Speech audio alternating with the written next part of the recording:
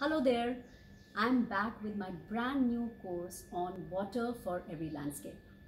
It is a course that many of you have been asking me to launch and now here it is finally for you to take.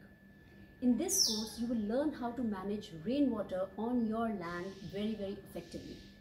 You will understand what the hydrological cycle is, what your watershed is, and then learn a bunch of earthwork strategies to manage the water on your land and ensure that it infiltrates into your ground and builds your soil profile.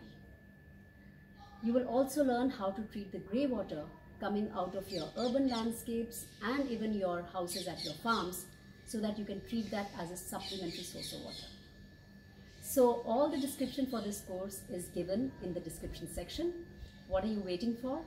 Click on the relevant links and sign up for the course.